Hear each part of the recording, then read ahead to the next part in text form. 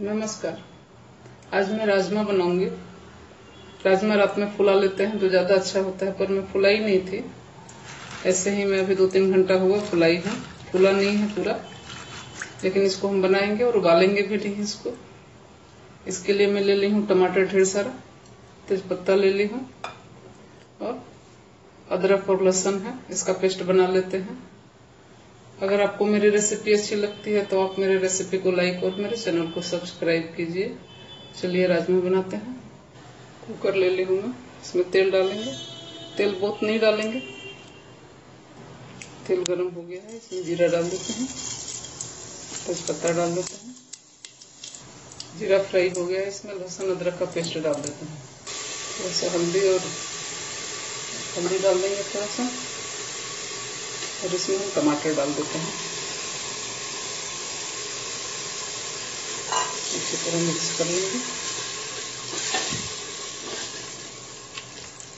और कुकर बंद कर देते हैं। एक सीटी लगा लेते हैं इसको एक सीटी लग गया है। टमाटर अच्छी तरह से गल गया है।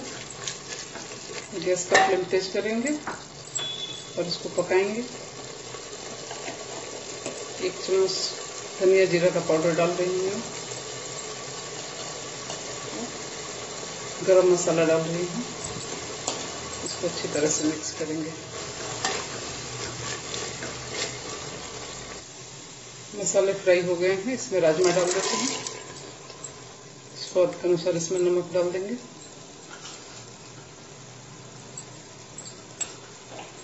चला लेते हैं।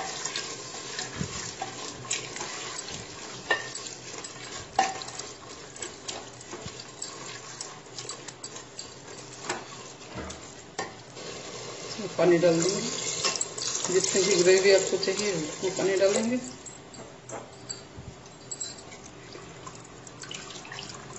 कुकर बंद कर देते हैं, एक सीटी लगा लेते हैं और थोड़ी देर हल्के आँच पे इसको पकने देते हैं। देखिए, राजमा बन गया है। अच्छी तरह से गल गया है। इसको निकाल लेते हैं एक बर्तन में। कसूरी मेथी में फ्राई कर ली हूँ। इसको थोड़ा सा डाल लेंगे काफ़ी अच्छा टेस्ट आ जाएगा। ये घर में ही मैं बनाई हूँ कसूरी मेथी काफ़ी अच्छा बना हुआ है, काफ़ी फ्लेवर हो जाता है इससे। एक कढ़ाई ले लेते हैं। कढ़ाई में मैं दो चम्मच घी डाल दी हूँ। घी गर्म हो गया, इसमें जीरा डाल देते हैं।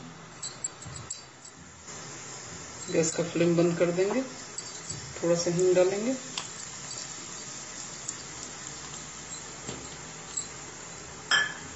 थोड़ी सी लाल मिर्च डालेंगे, कलर वाली लाल मिर्च है। मैं सब्ज़ी में मिर्च नहीं डाली हूँ थोड़ी सी हरी मिर्च डालेंगे। हरी मिर्च का पाउडर है। इसको अच्छी तरह से मिक्स कर लेते हैं।